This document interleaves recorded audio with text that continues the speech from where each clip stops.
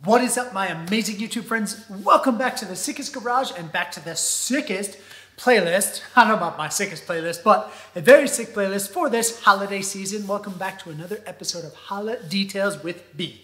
I am going to take you through today cleaning, deep cleaning Pathfinder floor mats. These are the worst type of floor mat because it's that fabric that's almost like a, a hook and loop, and I absolutely detest it. And I just got my pants dirty. I'm going to clean these. I was actually really sad, and my beautiful wife told me when I told her I was planning on working on some floor mats today. She said it was sad I didn't get to work on the Atlas floor mats, which is true because those floor mats are the worst. They're the rubber, but it's almost like a honeycomb down there. It's impossible to clean simply. I've even gotten a steam cleaner out on those, but these ones, these are gonna be sick. These are fabric, obviously. So we are going to start with the Tornador and the vacuum.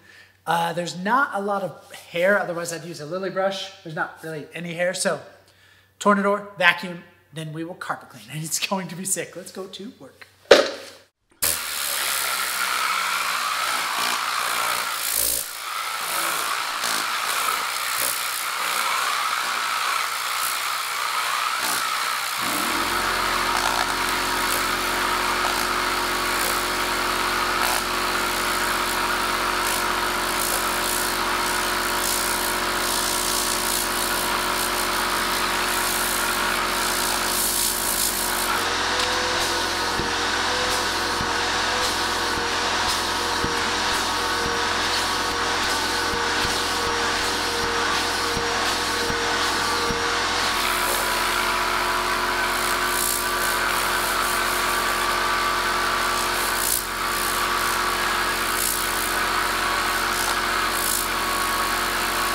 I see you sitting there thinking to yourself, why start with the Tornador with this stupid looped carpet? It doesn't matter if you vacuum it first or not, because you don't get anything with you vacuum it. Not really.